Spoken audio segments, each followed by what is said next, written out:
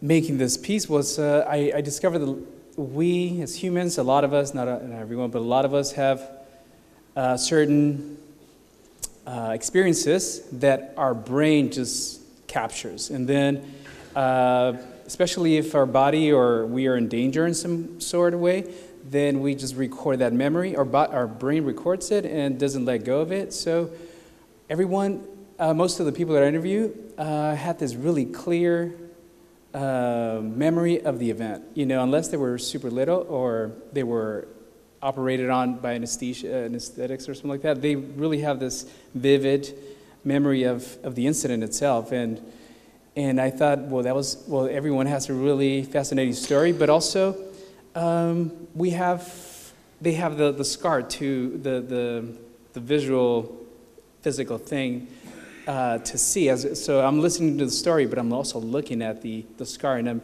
also really making this connection. Three years ago, um, I was walking into the kitchen, and then um, I was going to clean some dishes. Um, when suddenly we have an oven, and there is something uh, sharp. So I was walking, and then suddenly my uh, leg brushed against it. So um, it started to sting and to bleed, uh, so I had to get stitches. Um, it was very painful. Um, I do have a scar. I have a scar on my uh, left side uh, from a uh, kidney surgery that I had when I was very, very little, so I don't really remember much about it myself, just from what my parents told me about it, um, about that period. I was um, about two weeks old when I got lymphedema, so that's um, fluid building up on uh, under the skin of your hands and feet, so it kind of looked like little cushions. And uh, they took a look at it, and it turned out that I had um, a, a, blockage between my uh, bladder and my kidney, and so they gave me a stoma for about two years until I was like about two years old, and then they um, performed surgery on me to get rid of the blockage and to cor correct it, and then they took the stoma out, so that's how I got the scar. No, it's this one. Usually don't see it. People usually don't realize it's there because it's in a very kind of hidden place, even though it looks like if I don't do this, you don't see it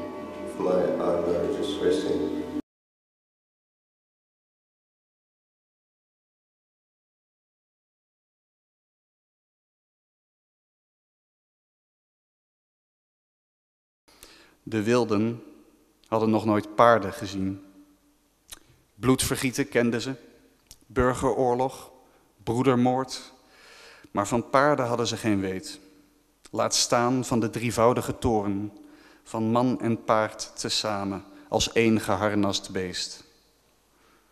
Die dag bij Cajamarca hield de puma zich stil in de bossen, was de slang een giftandeloze worm en werd de condor weer een ordinaire gier.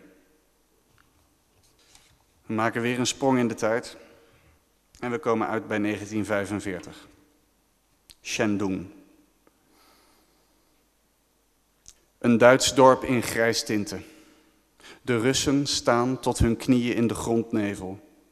Officieren roken een peukje en kijken hoog of laag, maar kijken weg.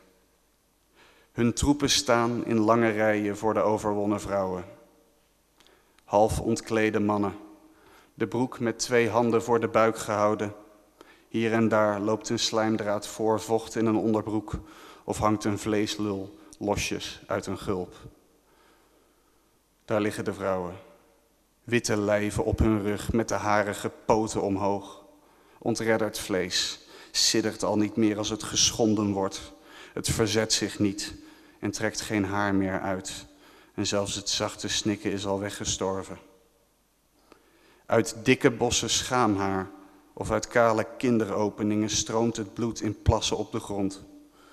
Baarmoeders van 13 jaar voor goed onklaargemaakt. Nog krijgen ze geen rust. De vrouwen hebben foute broden gebakken. Foute vloeren gepoetst en foute kinderen gezoogd en foute brieven aan hun foute man geschreven en zo het foute land rechtop gehouden. Al houdt geen ziel zich dit als rechtvaardiging voor. Wat traditie heeft, behoeft geen rechtvaardiging. Het spreekt vanzelf. Adam mocht de dieren namen geven. Gelijk in het begin zag hij vliegdier, kruipdier en zwemdier. Blafdier werd door hem geadopteerd. Bijzonder tevreden was hij met prooidier, lastdier, weekdier, vee. Maar naaidier en baardier ontbraken en werden prompt geschapen, samengevoegd en vrouw genoemd. En vrouw zijn is sinds die vroege tijd een kwestie van genoemd worden. Vrouw rolt van tongen en lopende banden. Vrouw wordt toegekend voor goed gedrag en kan ontelbaar vaak weer afgenomen worden. Wie haar nodig heeft, noem haar godin. Wie haar bevrucht, noem haar natuur. Wie haar ketent, noem haar afhankelijk. Wie haar opsluit, noem haar rein. Wie haar vernedert, noem haar zwak. Wie haar scholing onthoudt, noem haar dom. Wie haar breekt, noem haar breekbaar. Wie zich verlustigt, noem haar verleidster. Wie haar eer neemt, noem haar eerloos. Noem haar ding en zij verdwijnt. Onder de soldaten in een van de rijen ontwaart men er een die morgen ontwaakt en nooit meer thuis zal durven komen. Eén van hen, misschien de zachtste, misschien die zich tot deze daad heeft laten ompraten terwijl hij liever piano speelt, zal morgen beseffen dat de enige eer die hij verspeelde de zijne was. Misschien zal hij een diepe rivier tegenkomen of een machtige boom en zich zinloos offeren als schuldige Christus. In de toekomst zullen de grijze dorpen weer leeg zijn, het bloed gedroogd, herinneringen zorgvuldig weggestopt, maar er zal geen monument zijn en zeker geen plaketten met de tekst ter nagedachtenis aan de onbekende vrouw. Laat heel ons continent getuigen dat wat godin in haar is, zal heersen. Wat natuur in haar is, zal bloeien. Wat in haar geketend is, zich zal bevrijden. Wat rein in haar is, goed zal zijn. Wat in haar vernederd is, zal opstaan. Wat in haar leren kan, zal overtreffen. En wat in haar gebroken is, één zal worden.